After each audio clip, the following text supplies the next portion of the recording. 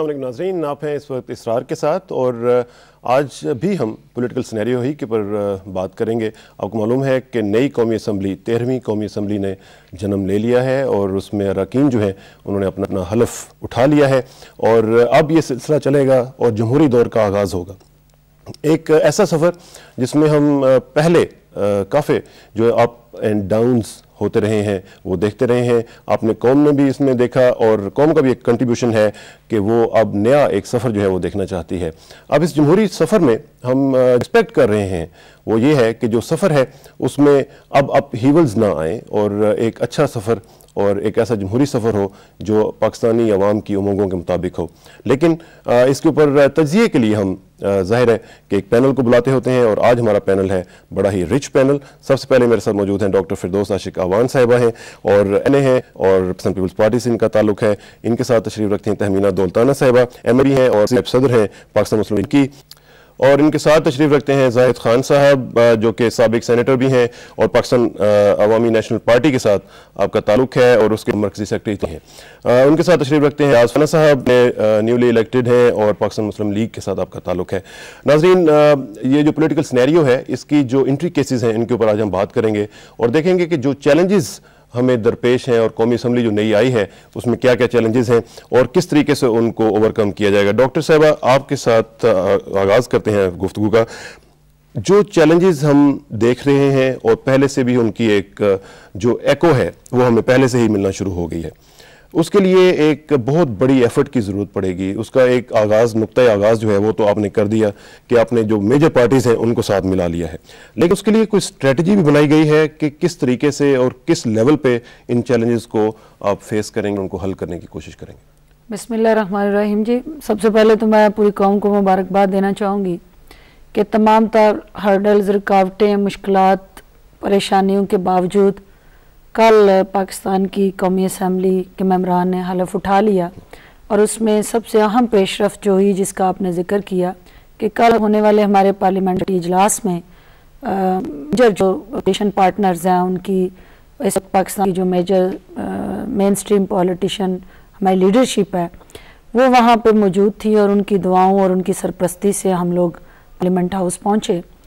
जो strategy plan और जिन तहफ़ात का आप ज़िक्र कर रहे हैं उसमें सबसे अहम चीज़ जो मैं, पूरी कौम, उस हकीकत से आगाह है कि हमें विरसे में जो चीज़ें मिली इस पार्लियामेंट के हिस्से में आई, वो सेकेंड नवंबर से ऑनवर्ड जो ऐसे इकदाम किए गए अनकॉन्स्टिट्यूशनल और आइन से मावरा फ़र्द वाहद की तरफ़ से कुछ ऐसी अमेंडमेंट्स और कुछ ऐसे आइन के हलियों को बिगाड़ने के लिए तरमीम की गई। और उस पर कंसर्न्स हैं पूरी पार्लियामेंट के, क्योंकि वो पार्लियामेंट की सुपरमेसी को चैलेंज किया गया है।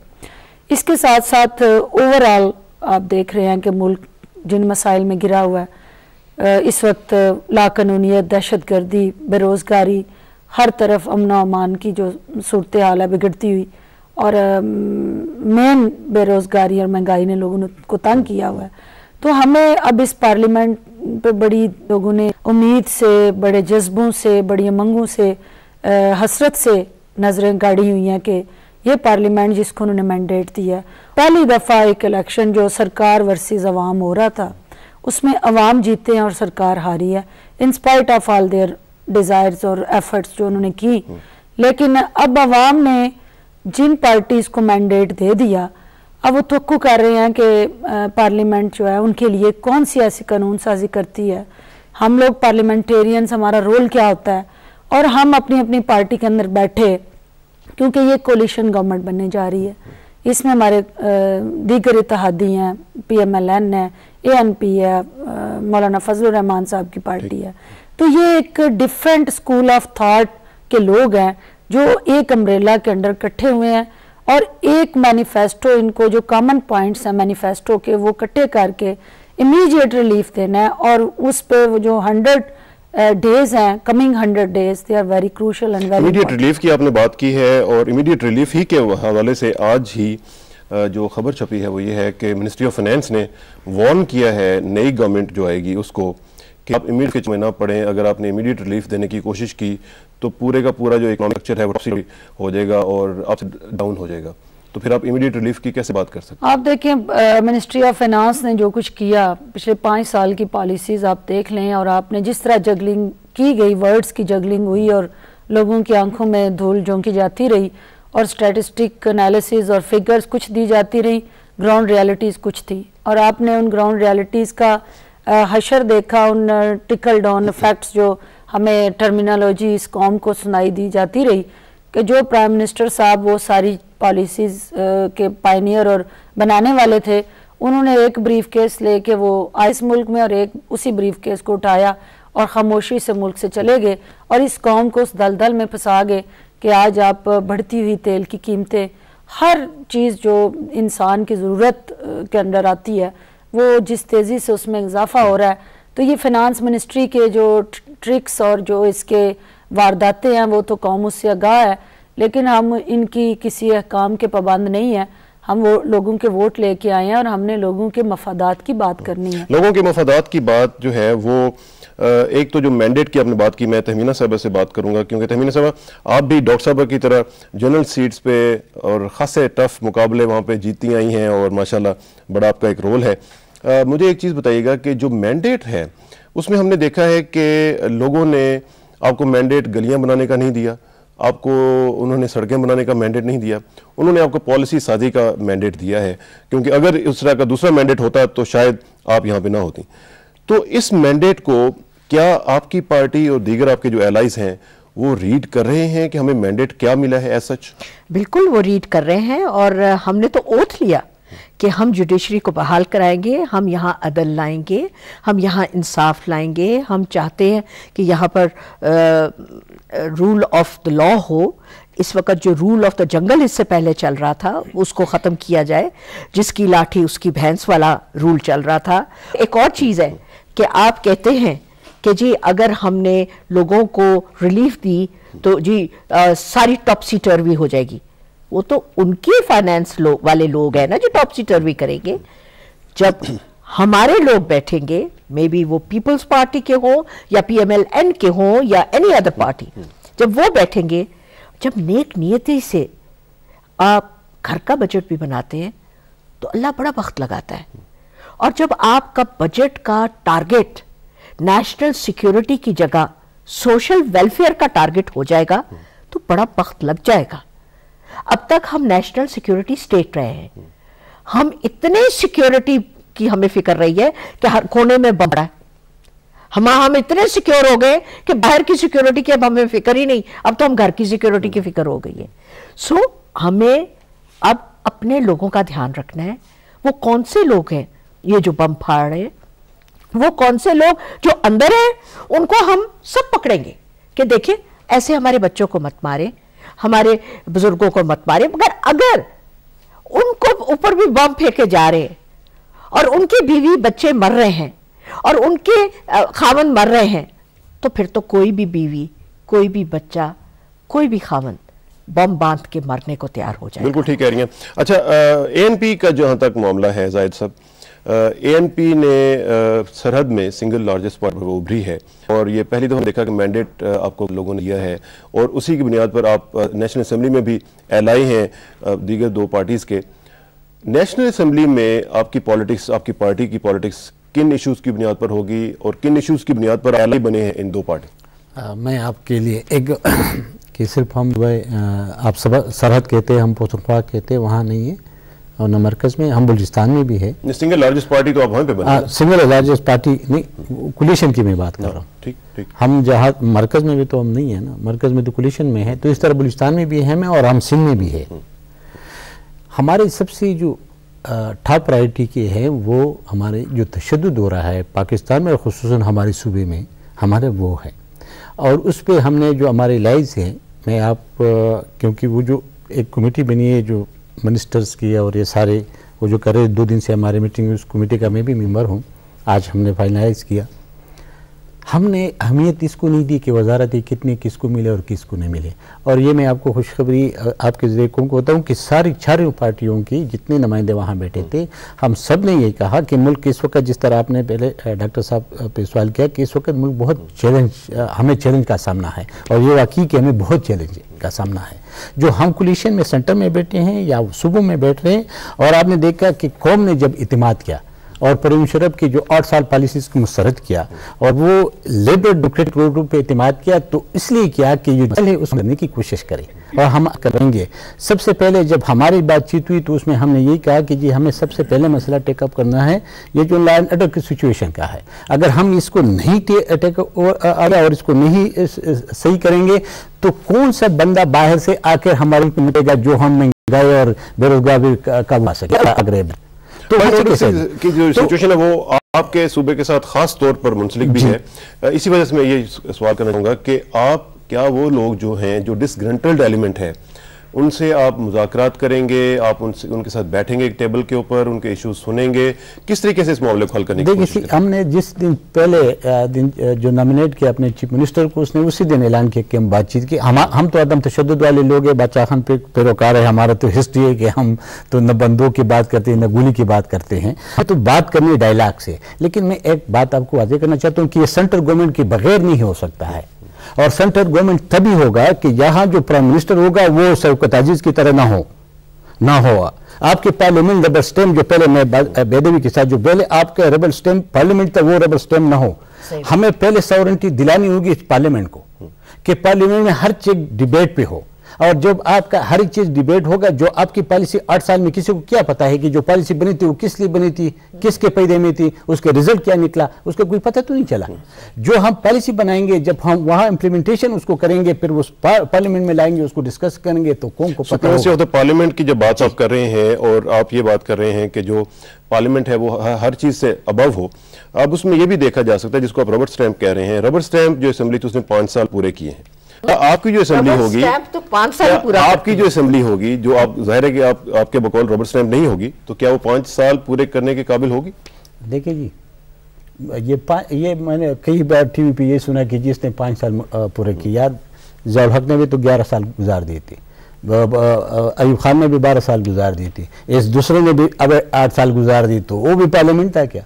वो तो अपने लिए एक चीज़ बनाया हुआ था उसने पाँच साल गुजारे या दो साल जो शरफ ने जितना उम्र गुजारना था उतनी उम्र तो उन्हें भी गुजारनी थी। वो तो कोई ऐसे कौन पे एहसान वाली बात फतेहाना साहब से बीच में लाऊँगा। फतेहाना साहब आप अभी रिसेंटली दोबारा इलेक्ट होके आए हैं और जिस असेंबली को ये रेबर स्टैम्प कह रहे हैं उसमें आप भी पाँच साल गुजार चुके हैं।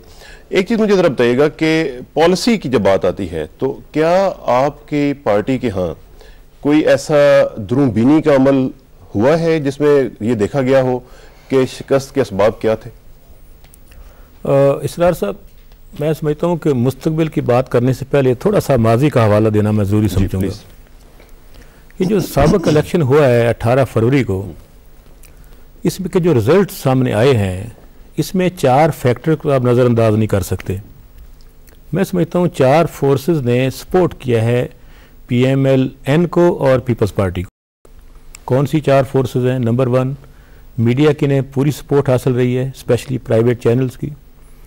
नंबर टू लोअर लेवल की judiciary returning officer assistant returning officers civil जजेस और सेशन जजेस की फुल सपोर्ट इनके साथ रही है। थर्ड गवर्नमेंट अगरचे आपकी थी। नहीं मैं मैं उस पर भी आ रहा हूँ उस पर भी आ रहा हूँ। तीसरा जो ब्यूरोक्रेसी है सिविल ब्यूरोक्रेसी मोहतरमा बेनजीर भुट्टो साहबा के कत्ल के बाद जो मुल्की सूरत हाल में तब्दीली आई है साथ ही उनकी लॉयल्टी भी इनकी तरफ़ हो गई थी। हमारे तो वो फ़ोन भी नहीं सुनते थे। मुकम्मल तौर पर इनकी डिक्टेशन हिदायत पर अमल हो रहा था। और फोर्थ, निगरान हुकूमत ने भी इनका साथ दिया है, जिसकी बिना पे कभी आटा गायब है, कभी बिजली गायब है, कभी आप सुई गैस गायब है। और 18 फरवरी गुजरती गई है। हुकूमत तो आपकी मैं अर्ज़ करता हूँ ना जी 18 फरवरी गुजरती गई है 19 फरवरी से आटा भी मिल रहा है बिजली भी मिल रही है गैस भी मिल रही है। तो ये सारी चीज़ें इस बात की निशानदेही करती हैं कि सारी फोर्सेज इनको सपोर्ट कर रही थी। तब ये रिज़ल्ट थोड़ा तो सारी सारी चीज़ों को मैनेज कौन कर रहा था पीछे बैठ के? कौन ये मैनेज कोई नहीं कर रहा था। उसमें जो मैनेज करने वाले थे वो इधर ही थे। बाहर नहीं थे। क्या कर रहा कोई लाहौर था कोई कराची था कोई इस्लामाबाद था। अच्छा। अच्छा दूसरा ये कि अब मुस्तबिल की तरफ़ अगर देखें तो एक बड़ा वाक़ हुआ है पाकिस्तान की हिस्ट्री में कि दो बड़ी पार्टियाँ जिनको मेजॉरिटी मिली है पार्लियामेंट में नेशनल असम्बली में और सूबाई असम्बलियों में वो इकट्ठी हो गई आपस में। ऑब्वियसली इससे एक नई सूरत हाल पैदा हुई है। पाकिस्तान की हिस्ट्री में पहली दफ़ा एक खातून स्पीकर बन के आ रही हैं, डॉक्टर फहमीदा मिर्ज़ा। और अब देखें, इनके रास्ते में कोई रुकावट नहीं है। इनकी दो थाई अक्सरियत अभी नहीं है, लेकिन बहरहाल काफ़ी हद तक इनके पास अक्सरियत है कौमी असम्बली में। इनके रास्ते में कोई रुकावट नहीं है, ना सदर की तरफ़ से, ना इस्टेबलिशमेंट की तरफ़ से, ना हमारी तरफ़ से, ना अपोजिशन की तरफ़ से फ्री हैंड मिला हुआ है जैसे चाहें हुकूमत साजी करें। अब इसका रिज़ल्ट देखें। चार सूबे हैं पाकिस्तान के चार इकाइयाँ हैं चार सतून हैं स्टेट के। हर सूबे में एक पार्टी को अक्सरियत मिली है। पंजाब में अगर पी एम एल एन को मिली है सिंध में पीपल्स पार्टी को मिली है सरहद में ए एन पी को मिली है तो बलूचिस्तान में पाकिस्तान मुस्लिम लीग को मिली है। तो होना तो ये चाहिए था जैसे हमने इनके मैंडेट का एहतराम किया है ये हमारे मैंडेट का एहतराम करते। लेकिन इलेक्शन ओवर होता गया है बलूचिस्तान की तरफ़ चढ़ दौड़े हैं सारे और हमारे वाज सिंगल पार्टी मेजोरिटी को अकलीत में बदलने के लिए सारे हरबे इस्तेमाल किए जा रहे हैं। तो फिर वही गेम स्टार्ट लेकिन ये, ये चीज़ें बाद में मैं लेकिन, लेकिन जो मैंने सवाल किया था उसका जवाब आपने नहीं दिया।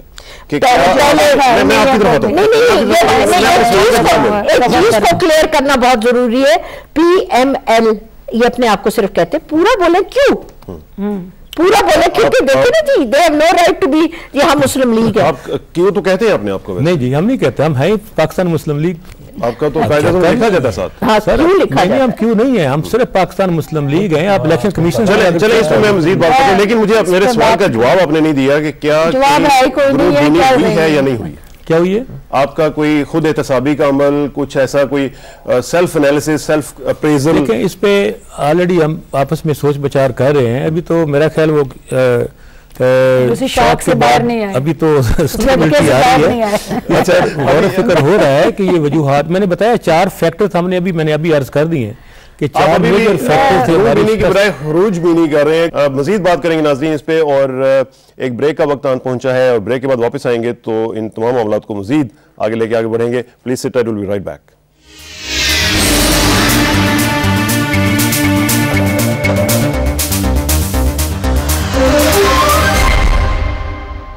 welcome back नाजीन बात हो रही है पोलिटिकल सिनेरियो के हवाले से और फतेहाना साहब ने चार पॉइंट्स का ज़िक्र किया है। उसके ऊपर भी मजीद बात करेंगे। डॉक्टर साहब इसमें उन्होंने आपके ऊपर, दूसरे आपके एलाइज के ऊपर ख़ास तौर पर कहा है और कि आप अपोजिशन में रहते हुए इस काबिल बन गए थे कि आपने तमाम जो एजेंडा सेटिंग है वो खुद की है और मैनिपुलेट किया है आपने पूरा इलेक्शन इससे बड़ी बदकिस्मती क्या होगी?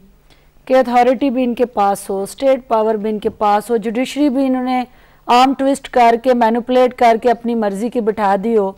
इलेक्शन से पहले हर डिस्ट्रिक्ट के अंदर आ, वो आपके जो परवेज लाई साहब उन्होंने हर डीपीओ डीसीओ और तमाम एस्टेब्लिशमेंट जो है उसको इकट्ठा किया हो। अपनी मर्ज़ी के यहाँ तक किसाना साहब के एस एच ओज हर थाने में ही अपना लगा के उसके बाद ये जिसको कह रहे हैं कि केयर टेकर गवर्नमेंट उस केयर टेकर गवर्नमेंट की कंटिन्यूटी ये यहाँ बताएँ कि क्या परवेज अलाई साहब जितने जलसों में गए, पूरी इलेक्शन कंपेन में वो चीफ मिनिस्टर के प्रोटोकॉल के साथ नहीं गए। इनका चौधरी शुजात साहब पूरे protocol as a party head नहीं लेके गए।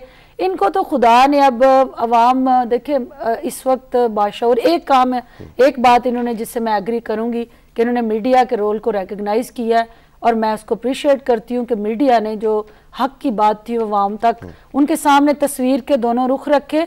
और अवाम के अंदर ये शौर था कि वो जो सही रुख है उसको पहचाना उन्होंने। और अब ये अवाम पे रहम कर दें और जिस अवाम ने इनके झूठ और गलत बयानी की वजह से इनके पॉलिसीज़ को रिजेक्ट कर दिया है, अब फिर उस अवाम के असाब का इम्तहान लेके ये गलत बयानी करते हैं। ये लीडरशिप क्राइसिस था असल में, ये असल बात की तरफ़ नहीं आते। तो जो असल बात है कि उन्हें अपनी कुताई को मानते हुए, बजाय इसके कि वो रिजाइन करते और अवाम के फैसले की तईद करते उसे हम आमीन कहते लीडरशिप क्राइसिस था जिसकी वजह से। अच्छा तमीना साहब एक चीज़। जब हमारे यहाँ पिछली गवर्नमेंट थी तो वो ये कहते थे कि इकोनॉमी जो है हमारी जब वो बेहतर होगी तो हमारे तमाम मामला हल हो जाएँगे। एक और पैराडाइम ये है कि कुछ लोगों का ये ख्याल है कि पॉलिटिकल जो हमारा सिनेरियो है अगर वो बेहतर हो जाता है तो इकोनॉमी खुद ब खुद जो है वो ठीक हो जाती है। लेकिन जो पॉलिटिकल इकोनॉमिस्ट हैं वो ये कहते हैं कि जब तक पॉलिटिक्स और इकोनॉमी ये फॉरवर्ड नहीं जाते हैंड इन हैंड उस तक मामला सही नहीं होते हैं। आप क्या समझती हैं कि जो नई गवर्नमेंट आएगी क्या वो पॉलिटिक्स और इकोनॉमी को इकट्ठा लेके चलने के काबिल होगी? क्यों नहीं? We will replan our economic structures, hmm. replan our directions, re replan our spending और उसको देखेंगे कि हम अपना खर्चा किधर कर रहे हैं। हमें कोई टू थर्ड अपना खर्चा डिफेंस पर करने की ज़रूरत नहीं है। और हमें Indian threat despite threat from India Indian threat के लिए आपके पास न्यूक्लियर पावर है। आपको अब अपनी फॉरेन पॉलिसी को भी चेंज करना है और देखना है कि आपका इंडिया का कितना थ्रेट है और कितना वो चाहते हैं कि थ्रेट है क्योंकि आप एटॉमिक पावर है वो एटॉमिक पावर है। अब वो थ्रेट अगर होता तो डेढ़ साल आप उनकी फौज आके आपकी सरहदों पर बैठ के वापस ना चली जाती। वॉर एंड टेरर पे मुझे आप स्ट्रेटजी बताएँ कि आप अमेरिका के डिक्टेशन नहीं लेंगे आप अमेरिका के कहने के मुताबिक वॉर एंड टेरर को कंडक्ट नहीं करेंगे आप अपनी डेफिनेशन पहले पहले बताएँगे कि जी वॉर एंड टेरर है क्या? उसके ऊपर आप मुझे थोड़ा I think we need to redefine this war on terror और हमें रीडिफाइन करना पड़ेगा कि टेररिस्ट कौन है। और जो टेररिस्ट अंदर हैं, उनको तो हम भी नहीं रहने देंगे। मगर जो टेररिस्ट अगर बाहर से आ रहे हैं, उनको हम स्टॉप करेंगे। और जो वॉर ऑन टेरर की लड़ाई अमेरिका की है, वो अमेरिका लड़े। हम अपनी लड़ाइयाँ खुद लड़ेंगे। और अगर हमारी लड़ाई नहीं है तो हम अपने खून नहीं बहाएँगे। लेकिन इसमें जो क्वेश्चन उठता है वो ये है, तमीना साहबा, कि जो वॉर एंड टेरर की जब बात आती है अमेरिका आपको पता है कि कितना कंसर्न है उस हवाले से। और आपकी मीटिंग्स जो हैं वो ऑलमोस्ट डेली की बुनियाद पर अमेरिकन एम्बेसडर्स के साथ या दूसरों के साथ होती रही हैं और हो रही हैं। माजरत से हमारी बिल्कुल मीटिंग्स होती रही हैं। मगर अमेरिकन एम्बेसडर को अमेरिका के एम्बेसडर तरह रहना चाहिए। पाकिस्तानी वायसराय की तरह नहीं। और इट्स अबाउट टाइम कि we tell them what is their own uh, uh, I mean, way of dealing with the countries. Mm. They are not our viceroys, and we need to defend our country. We need to develop our country, develop our economy. हमने अपनी कुर्सी नहीं बचानी हमें कोई कुर्सी की ज़रूरत नहीं है, है। हमने अपनी आवाम को बचाना है अपने मुल्क को बचाना है और अपनी आवाम भूखी आवाम को खाना देना है रोटी देनी है छत देनी है, कपड़ा देना और साथ साथ सिक्योरिटी देनी है और सिक्योरिटी लॉ एंड ऑर्डर के साथ अटैच्ड है। ज़ाहिर साहब आपके सूबे में जब बात आती है इस पूरे सिनेरियो की तो एक कंसर्न मौजूद है कि वहाँ पे जो पिछली हुकूमत भी थी उसके दौरान भी ये सिलसिला जारी रहा और अब आपकी अपनी हुकूमत आ जाएगी। तो उसमें जो स्ट्रेटजी है, वो क्या आप इख्तियार करेंगे रीच आउट करेंगे, किस तरीके से करेंगे, उनके जो इश्यूज़ हैं, क्या उनको आप सही तरह सॉल्व करने की पोजीशन में होंगे? देखिए जी मेरे सूबे पे जो भी बात आती है पाकिस्तान में कहीं भी कुछ होता है तो कहते हैं कि ये ट्राइबली रिज़र्व में है या हमारे सूबे का नाम लिया जाता है। अब ज़रा देखिए कि ये जो गिरफ्तारियाँ हुई हैं या जो चीज़ें जो पकड़े जा रहे हैं वो कहाँ ज़्यादा होते हैं? पंजाब में या भी जब लाहौर में हुआ, उनके भी लोग लाहौर से पकड़े जा रहे हैं, जो पिंडी में हुआ, उनके भी लोग यहाँ से पकड़े जा रहे हैं। ये ऐसा नहीं है। जब आपने वो लंबी बात हो जाएगी, जब सोवियत यूनियन वहाँ पे आया अफ़गानिस्तान में तो अमेरिका, आई, जी, आप इस्लाम ख़तरे में पड़ गया था और अमेरिका आई थी इस्लाम बचाने के लिए। क्लशन कोप ले आया था जी डॉलर लेके आए थे, जी, हम जिहादी थे, हम आगे हो गए थे। अब वो वो जो मसला, वहाँ हम उसी वक्त चीख रहे थे कि ये आग उधर नहीं रुकेगी, ये आग यहाँ भी आएगी। नहीं माना किसी ने। आग नहीं रुक सकी वहाँ से आया वहाँ से जाके आपके लाहौर और पूरे खत्े में भी जाएगा। अब जिस तरीके से हम कहते हैं कि हम पॉलिसी पे नज़र नज़रसानी करेंगे ये जो हमने पॉलिसी हमारे सेंटर में बनती है। अगर आप इस पॉलिसी पे नज़रसानी नहीं करेंगे तो ये जो पॉलिसी आठ साल चलाई इससे कोई आ, कोई फ़ायदा तो नहीं हुआ। आज तक किसी मसले का हल तो नहीं निकला। वो जो आप कहते हैं वार अगेंस्ट वो तो बल्कि बढ़ती जा रही है वो कम तो हो ही नहीं है। इसलिए हम कहते हैं कि जी, इस पॉलिसीज़ को हमने चेक करना है और हमने इसमें जो खामियाँ है वो दूर करनी है। अगर वो खामियाँ हम दूर नहीं करेंगे तो मसला वैसे के वैसे रहेगा। इसलिए हम लोग पहले डायलॉग करेंगे। वो जो हम, वो लोगों से, जो अलकायदा जिसका नाम कहते हैं, या जो अफ़गानिस्तान के तालिबान है उनसे हम नहीं करेंगे। लेकिन जो जो आपकी मीडिया कहते हैं हम नहीं कहते। हम्म। आपकी मीडिया कहते या हमारे जो हुकूमत कहते कि जी लोकल तालिबान। ये लोकल तालिबान से अभी भी हमारी बात शुरू हो चुकी है और चल रही है। इनशाला उसकी बहुत अच्छी रिज़ल्ट किस पर? हमारी गवर्नमेंट और उनकी जो ग्रुप से या जो लोग है उनके हमारे। वक्त से इस चीज़ फैला गया है। ये कारोबार बन गया है। अब इसको काउंटिंग के लिए आपने जिस तरीके से बात किया अब जो हमारा पाटा है पार्टा में वहाँ पे एजुकेशन की नाम की चीज़ नहीं है। डेवलपमेंट का तो आप सोच नहीं सकते। आपने वो आ, आ, जो काला कानून है अंग्रेज़ का अभी तक उस पर लागू है। एक पोलिटिकली जन 19 ग्रेड का अफसर एक बंदा जो जुर्म करते हैं कराची में उसका पूरा कबीला उठा के जेल में डालता है। न किसी कोर्ट में जाके वो अपील कर सकता है न उसका कोई अपील सुन सकता है। और वो जो सेफ्टल एरिया को देखते हैं उसमें और चीज़ें चलती है। वहाँ पर लोग बहुत ज़्यादा तशद में इसलिए जा रहे हैं कि वहाँ उनको वो सहूलियत मुहैया नहीं है जो और के अच्छा लेकिन इसके साथ साथ एक और इशू जो आपका बड़ा इंपॉर्टेंट है वो है सूबे के नाम के हवाले से। आपकी जो एलाइज पार्टीज़ हैं उनके साथ आपकी कोई अंडरस्टैंडिंग इस लेवल पे हुई बिल्कुल बिल्कुल इसलिए कि देखिए हमारे मुस्लिम लीग नून से तो हम पहले भी रह चुके थे और उसी वक्त हमने एक करारदाद पास किया था पोतोहा के नाम से। और वो अब खुशकिस्मती तस्लीम नहीं किया सुन लेना जी।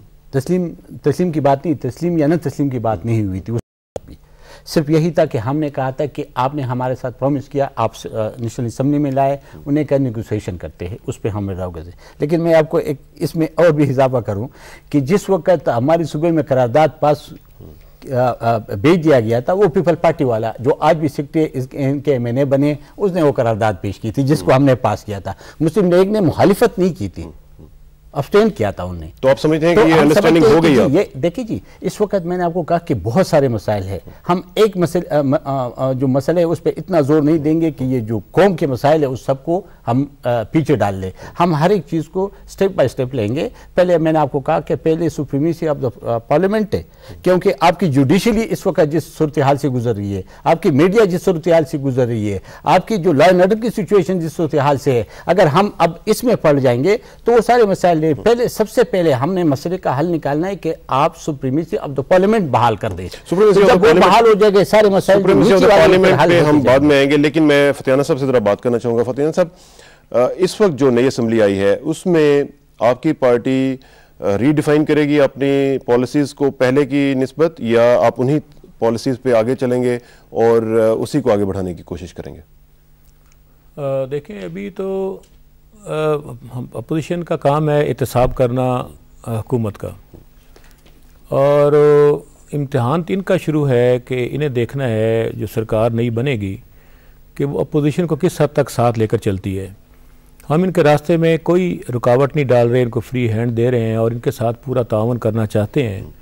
और हम तो रखते हैं कि ये भी क्योंकि इन पर बहुत बड़ी ज़िम्मेदारी है। देखना ये है कि कितना बड़ा मौसर जमहूरी माशरा ये तश्कील देते हैं। हम इनको सपोर्ट देने को तैयार हैं।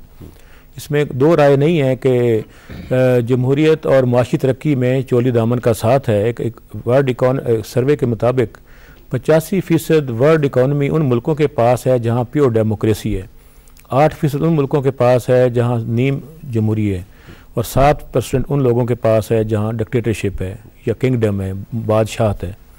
तो पाकिस्तान के मसाइल का हल नो डाउट जमहूरीत के साथ वाबस्ता है।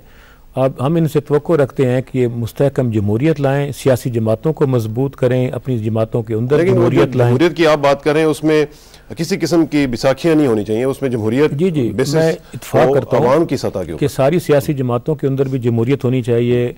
और जमहूरी फैसले हों और मुल्क में जमहूरियत मुस्तकम हो। किस पार्टी में जमहूरियत अंदरूनी सतह पर भी आप समझते हैं कि नहीं है?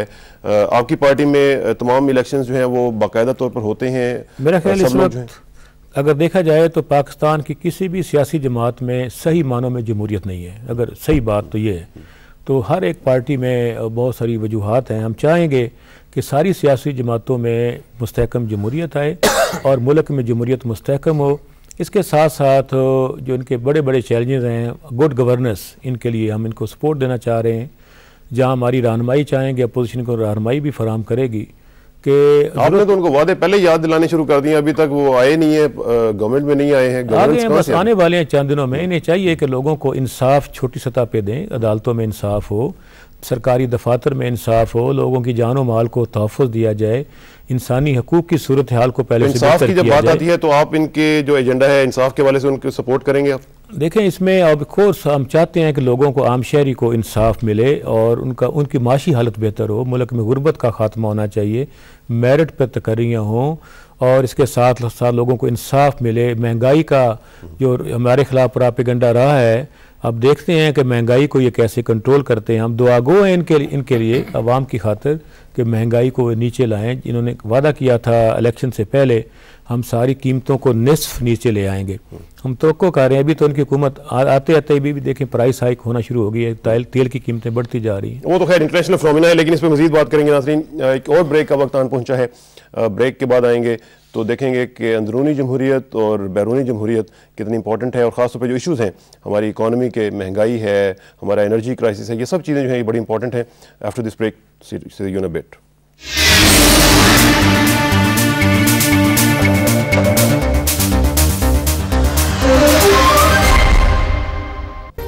welcome back नाजरीन बात हो रही है पॉलिटिकल स्नैरियो के हवाले से और डॉक्टर साहब बड़ी ज़बरदस्त किस्म की सपोर्टिव गुफ्तु हो रही है। आपको फतेहाना साहब ने क्लीन स्लेट दे दिया है उस पर जो मर्ज़ी आप लिख लें। और इतनी ज़बरदस्त अपोजिशन आपको कैसे मिलेगी? जी मैं रियली अप्रिशिएट और इस गुड विल जेस्चर को आ, मैं समझती हूँ कि ये मीडिया से ज़्यादा पार्लियामेंट में नज़र आना चाहिए। हम्म। क्योंकि पार्लियामेंट उसी तरह का जेस्चर जो आपने कल चौधरी अमीर हुसैन साहब को दिया जाके। बिल्कुल जी ये पॉलिटिकल सनेरियो में कोई किसी से साथ ज़ाती दुश्मनी तो होती नहीं है। नज़रियाती इख्तलाफात होते हैं सोच का इख्तलाफ होता है। तो जब पॉलिटिकल वार गेम जो है दैट्स ओवर कोई विन करता है कोई लूज़ करता है लेकिन उन्हें सिद्ध दिल से अपनी फतह और शिकस्त को कबूल करते हुए कहा क्या था उनको? जी मैंने उन्हें पास जाके तो। मेरा था कि भाई he is being speaker of national assembly chair का एहतराम है और चेयर जो है he was owning that chair at that time तो जो उन्होंने मेरे साथ किया था पूरी कौम विटनेस है कि क्या क्या नहीं हुआ था। और उस इलेक्शन में और इलेक्शन से पहले जिस तरह का मेंटल टॉर्चर और फ़िज़िकल टॉर्चर मुझे और मेरी फैमिली को मिला तो मैं उसके बावजूद अवाम ने जब मेरा बदला ले लिया और उनको 42,000 से शिकस्त हुई इलेक्शन में तो मैं उन ज़ख्मों को मरम रखने के लिए I want to have a new beginning और मेरा हाल है हर पॉलिटिशियन को यही करना चाहिए। हमें इस सियासत के अंदर टॉलरेंस को आगे लेके जाने के लिए इलेक्शन कोई ज़ाती दुश्मनी नहीं है कोई इंतकाम नहीं है। हमें उस सनेरियो को डिवेल्प करना है। और उसका एक आगाज़ था कि भाई जो हो गया वो हो गया। लेट्स वर्क टुगेदर और उस इलाके की तरक्की और खुशहाली के लिए हमें थाने और कचहरियों की सियासत में उलझने की बजाय हमें लोगों के जो रियल कोर इश्यूज़ हैं, जिनकी आप बात कर रहे थे, उनकी आवाम तक फरहमी के लिए जो उनकी बुनियादी ज़रूरतें हैं, उनकी जंग लड़ने के लिए वो एनर्जीज़ जो हम एक दूसरे की टांग खींचने, एक दूसरे पे जहली पर्चे कराने, मुखालफिन की आवाज़ को दबाने और हर पूरी एनर्जीज और पूरा गवर्नमेंट का जो प्रेशर होता है, हमारी ख्वाहिश होती है कि मुखालिफ नज़र ना आए।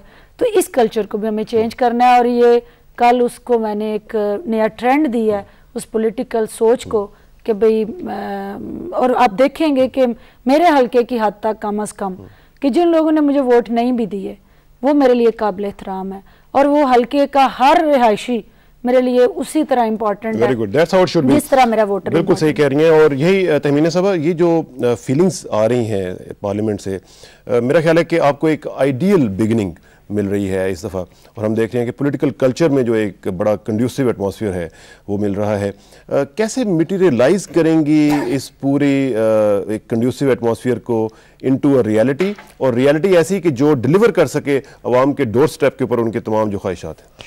नहीं जी इसको रियलिटी हमें बनाना पड़ेगा ये हमारी मजबूरी है। क्योंकि अगर हम रियलिटी नहीं बनाएँगे बहुत कुछ रिस्क पर है। आ, मेरा ख्याल है बहुत ज़्यादा पाकिस्तान के साथ खेला गया। अब खेला नहीं जा सकता। अब उसको सही सिमत की तरफ़ जाना है। वी हैव टू अपना 16 करोड़ अवाम के बारे में किसी ने नहीं सोचा। अब हमें उनके बारे में सोचना है। उस मैं तो अपना हर बजट पे एक बात कहा करती थी कि मुझे बताएँ, जो शख्स तीन हज़ार रुपये कमाता है, वो रात को रोटी कैसे खाएगा, सिर पर छत कैसे लाएगा वो आ, कपड़ा कैसे पहनेगा इलाज कैसे कराएगा वो अपने बच्चों को आगे पढ़ाएगा कैसे सिर्फ़ मुझे ये बजट बना दे। हमें वो बजट उस आम आदमी के लिए बनाना है क्योंकि अगर हमने वो बजट ना बनाया तो जो अवाम ने आपको वोट दे के आप पर एतमाद किया है दूसरी दफ़ा आपसे ये वोट लेके पता नहीं वो क्या करें। बिकॉज़ आपको डिलीवर उनको करना है। वो बहुत तंग आ चुके हैं और यकीन माने मुझे पता है लोगों ने मुझे कहा बीबी हूँ असी बर्दाश्त नहीं कर सकते। जो गरीब इनफ इज़ इनफ जो आदमी पैदल चलता है और हमारे हल्के में जूती अपनी यहाँ रख लेता है क्योंकि अगर उसका पाँव जख्मी हो जाएगा तो वो बर्दाश्त कर सकता है। मगर दूसरी जूती टूट गई तो दूसरी जूती नहीं ले सकता। हमें ये तब्दीली लानी है। We have to be a social welfare state उसके लिए जो स्ट्रेटजी है, देखें ये सबसे बड़ा आपने क्वेश्चन उठाया है कि जो लोगों का पेट भरने की बात है, जो लोगों की माशी ज़रूरियात को पूरा करने की बात है, उनके बच्चों की तालीम है इसमें जो जो चैलेंजेस हैं वो अभी जो आजकल का सिनेरियो हम इकोनॉमिक सिनेरियो देख रहे हैं उसमें जाइगेंटिक किस्म के चैलेंजेस आपको फेस करना पड़ेंगे। इंटरनेशनल प्राइसेस बढ़ रही हैं फतेहाना साहब ने बात की और इंटरनेशनल फिनोमिना जो है वो आप आप चीज़ों को गलत तरह देख रहे हैं। आप अपनी ताकत को क्यों नहीं देखते? आपके पास 16 करोड़ अवाम की ताकत है। आप उस ताकत को सही तरह चैनलाइज क्यों नहीं करते? अपने अवाम से काम क्यों नहीं लेते? उनको बताते क्यों नहीं है कि आपको कैसे कमाना है? अगर आप अपनी फोर्स को समझे तो वो आपकी फोर्स है जिसको आपने ना यूटिलाइज किया ना उसके बारे में सोचा ना उनको डेवलप करने का सोचा। वो काम आप हमने अपनी ह्यूमन रिसोर्स को सही तरह यूटिलाइज कर ह्यूमन रिसोर्स की जब बात आती है तो साथ ही साथ ज़ाहिर साहब एनर्जी का भी एक सिलसिला आता है और एनर्जी क्राइसिस हमारा, आपको पता ही है कि आजकल क्या हो रहा है, किस तरीके से लोड शेडिंग दस दस घंटे तक लोड शेडिंग जो हैं, वो हो रही हैं मुख्तलिफ़ इलाकों में। उसमें जब बात आती है तो मुख्तलिफ़ डैम्स की बात आती है। आपके सूबे में डैम्स की जब भी बात हुई है, ख़ासतौर पर कालाबाग की, इस तरह का जब इशू उठता है तो बड़ा एक्सप्लोसिव इशू बन जाता है और सिंध के भी लोग जो है, उनको भी कंसर्न आता है। तो इसमें आपके एलाइज के साथ इस हवाले से कुछ बात हुई है कि क्या एनर्जी स्ट्रेटजी क्या होगी आपकी हुकूमत की? बस ये ये एक अजीब सा वो बना हुआ है कि जब भी कोई बात की जाती है, चाहे वो पानी का क्राइसिस हो या एनर्जी का क्राइसिस हो, बस कालाबाग पे सुई अड़ी रहती है। कालाबाग एक ऐसी इशू है कि वो मुतनाज़ है। और उस मुतनाज़ इशू से कौम तकसीमें होती है दराड़े पड़ती है। अभी दराड़े अगर कौम में पड़े तो उससे कालाबाग, कहीं भी कालाबाग बन जाए तो क्या फ़ायदा? कुछ तो नहीं हो सकता है फ़ायदा तब हो सके पहले आपकी यूनिटी बरकरार हो। और जिस तरीके से मैंने आपको पहले बात की कि हमारे यहाँ पे, देखिए, जो आपकी प्लानिंग है वो गलत है। आप पचास साल से साठ साल से एक कलाबाग के पीछे पड़े बाकी किसी जगह को तो आप देख ही नहीं रहे। किसी और जगह के लिए सोच नहीं रहे। छोटे डैम बनाए। आप हमें हम आपको कहते आप वसासा से सेंट्रल गवर्नमेंट को कहते हमें ये इख्तार हमारी सूबे को दे देगा। पाँच साल में हम इनको इतनी एनर्जी सस्ती भी दे देंगे इसी वाटर से। और इतने ज़्यादा दे देंगे कि ये बाहर भेजेंगे इनकी भी कमी उनको कह दें? ये हम ये, ये आपके पास आ गया लेकिन देखिए अगर अगर इसमें जो हम अगर कर रहे हैं अगर आप अल्टरनेटिव एनर्जी रिसोर्सेज पे जा रहे हैं कि हाइडल पे नो डाउट कि हमारा फोकस रहा और हाइडल प्रोडक्शन की वजह से बिजली महँगी भी हुई और हाइडल इंटरलिंक होने की वजह से आपने आ, पानी कम हुआ तो आपका क्राइसिस क्रिएट हुआ। जबकि हमारे पास अल्टरनेटिव एनर्जी रिसोर्सेज होने चाहिए। वो कह रहे हैं कि हाइडल में भी वो आपकी हेल्प कर सकते हैं। कर सकते हैं। हम हम इनको पैटर्नाइज आपको पता है कि पाकिस्तान पीपल्स पार्टी ने जो सबसे बड़ी हमारे को चेयरपर्सन सेनेटर आसफ अली जरदारी साहब ने इस वक्त हर जगह हर मीटिंग में वो प्रोविंशियल ऑटोनॉमी की बात कर रहे हैं।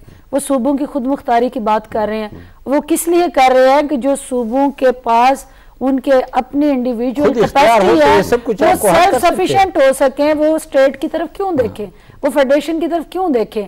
और ये बात जो है इसको मैं एंडोस भी करती हूँ और इनशाला we will keep it up कि हम उसी स्पिरिट को आगे लेके ये भी ये भी जैसा भी एक टॉप प्रायोरिटी का मसला है ये छोटा मसला नहीं आप, आप मेरे हमारे बात और उस क्राइसिस को बेटर हैंडल किया जा सकता जब अपने इलाज से जब बैठे थे तो हमने ये तीनों पॉइंट्स किए थे लेकिन मैंने तीन पे बात है एक आपने सूबे का नाम लिया था और एक ये सूबाई खुद मुख्तारी थी।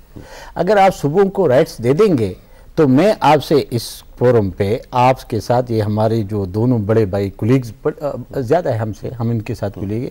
ये वादा कौन से करता हूँ कि हम इतने एनर्जी दे देंगे और उसके साथ पानी दे देंगे कि पूरा हो जाएगा बल्कि ये बाहर भी दे देंगे। अल्लाह करे ऐसा हो। ऐसे है आपके अपने वाबड़ा के तीन दरियाओं पे जो आप, आपके फिजिबिलिटीज बनी वो थर्टी टू थाउज़ेंड मेगावाट बिजली बनती है हम्म। आपके तो इतनी नहीं है हम्म। ज़रूरत हम्म। लेकिन आप बनाती नहीं हैं आप एक ही चीज़ पे जिससे आपका जो ब्यूरोक्रेसी है वो कमीशन के चक्कर में है वो कालाबाग के चक्कर में एनर्जी के हवाले से तो हमने देखा कि पिछले सात आठ साल पिछले सात आठ साल में एनर्जी के हवाले से कोई ख़ास काम नहीं हुआ। बातें हुई हैं। भाषा डैम की भी बात हुई। मुझे खुद जाने का इतफाक़ हुआ वहाँ पे अफ्ताह भी हुआ सारा कुछ हुआ। लेकिन एनर्जी का क्राइसिस दिन ब दिन वर्सन होता रहा और हमने देखा कि कोई ख़ास इनपुट हमें मिली नहीं उधर से। देखें इस वक्त हमारे एनर्जी सेक्टर में सबसे कम शेयर है एटॉमिक एनर्जी का। और सबसे ज़्यादा शेयर है थर्मल जो तेल के साथ बनाते हैं। और दुनिया की इंटरनेशनल कीमतें जब बढ़ती हैं तो उससे भी हमारी महँगी हो जाती है। तो हमारी, हमें नेशनल प्रायोरिटीज़ अपनी दोबारा रिकन्सिडर करनी चाहिए। सबसे सस्ती बिजली दुनिया जहान में मिलती है एटॉमिक बिजली। एक दफ़ा बनानी मुश्किल है, लेकिन बाद में बहुत सस्ती है एटॉमिक रिएक्टर लगाने से। एक तो मेरा मशरा होगा कि एटॉमिक रिएक्टर ज़्यादा लगाए जाएँ, और अभी चाइना से कुछ लिए हैं, पाकिस्तान ने। नंबर टू हाइडल की तरफ़ हम जाएँ और थर्मल से बचें। कोयले के साथ भी बिजली बन सकती है इस पर भी कुछ काम हुआ है। तो मैं इतफाक करता हूँ लेकिन अभी काफ़ी नई ऑर्गेनाइजेशन बनाई है रिएक्टर्स के वो एक लंबा प्रोसेस हो जाएगा और वो बड़ा एक्सपेंसिव भी होता है लेकिन उसमें सबसे ज़्यादा जो इजी जो जाय साहब कह रहे हैं वो ये था कि हाइडल को तो जो दी जाती और उसमें से ज़्यादा से ज़्यादा जो मेगावाट्स हैं वो लेके हम अपनी इकोनॉमी को दे सकते हैं। जी ठीक है। तो इस पर मैं कितना प्रोग्राम में टाइम है? दो बातें और करना चाह रहा हूँ जी मुख्तसरन मुख्तसरन मैं मशवरा देना चाहता हूँ नेक्स्ट आने वाली गवर्नमेंट को कि दो अहम शोबे शोबे या टारगेट करें ये। नंबर वन गरीब। नंबर टू नौजवान। तो मैं ये मशवरा देना चाह रहा हूँ कि उस वक्त तक गरीब का मसला हल नहीं होगा जब तक हम पाकिस्तान को एक फलाई रियासत नहीं बनाते। पिछले दौर हुकूमत में मैंने एक डॉक्यूमेंट बना के शौकत अज़ीज़ साहब को दिया था जब वो प्राइम मिनिस्टर थे। बदकस्मती से उस पर अमल नहीं हुआ।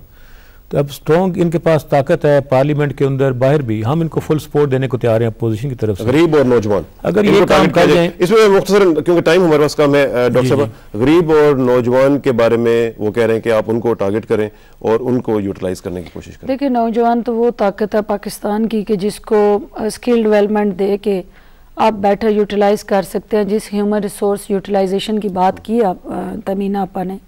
पाकिस्तान की इस वक्त तमाम मसाइल का वाद हल वही ह्यूमन रिसोर्स यूटिलाइजेशन है। उसको कैसे कर सकते हैं कि आप हर पढ़ सबको पढ़ा नहीं सकते?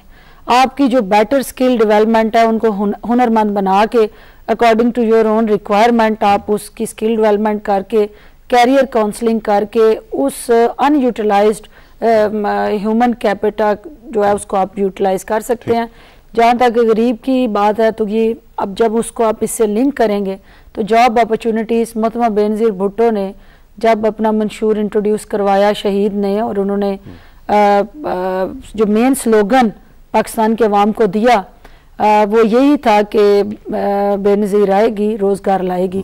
क्योंकि पाकिस्तान पीपल्स पार्टी का ये आ, बहुत बड़ा क्राइटेरिया और एक एसेट है कि वो अपने वर्कर्स और अपने पार्टी कारकुनान को जॉब जब भी आई है गवर्नमेंट में जॉब अपॉर्चुनिटीज़ दी।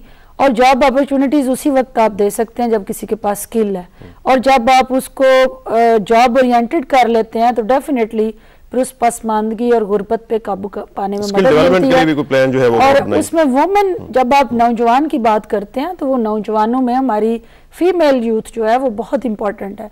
और हमारा जो अब बढ़ती हुई मुआशी बदहाली है उसमें अगर हमने अपनी इकोनॉमिक क्राइसिस के अंदर वुमेन एम्पावरमेंट ना की in different institution through skill development तो वो इकनॉमिक क्राइसिस बढ़ेगा और उन नौजवानों में वो खातन जो नौजवान बच्चियाँ और बच्चे हैं मर्द जो हैं और ख़वान इनको इकट्ठे होके इस माशी बदहाली के खिलाफ जंग लड़नी होगी और, इंशाल्लाह उसके लिए एक बेटर यूथ पॉलिसी और इस पे इम्प्लीमेंटेशन की ज़रूरत है। And you are ready for it I am ready Tamina साहब is also ready for it और इसी के साथ हमारा प्रोग्राम अब खत्म होता है।